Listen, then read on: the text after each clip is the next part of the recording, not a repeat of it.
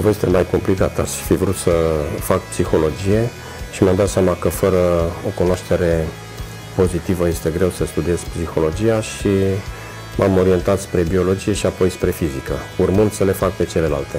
N-am avut, sincer să spun, un model, dar uh, mi-a plăcut din școală științele uh, naturii și au devenit o pasiune pentru mine.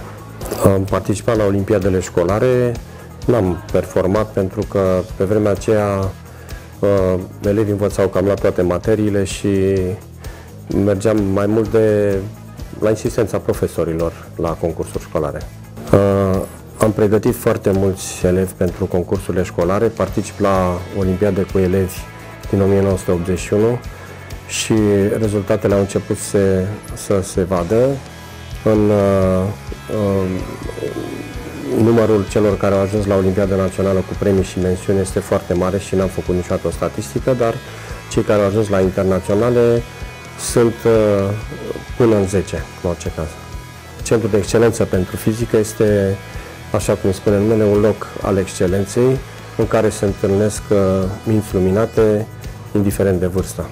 Cea mai uh, înaltă performanță pentru fizică uh, a constituit-o ca elev uh, Mehmet Edvin, care a participat de două ori la Olimpiada Internaționale și ca profesor, ca dascăl, uh, consider că cea mai importantă performanță este aceea că am reușit să structurez centrul de cercetări al elevilor din liceul nostru și de asemenea uh, am reușit să realizez o mișcare uh, numită Fenomenul Constanța cu privire la participarea elevilor la concursuri de proiecte la NASA.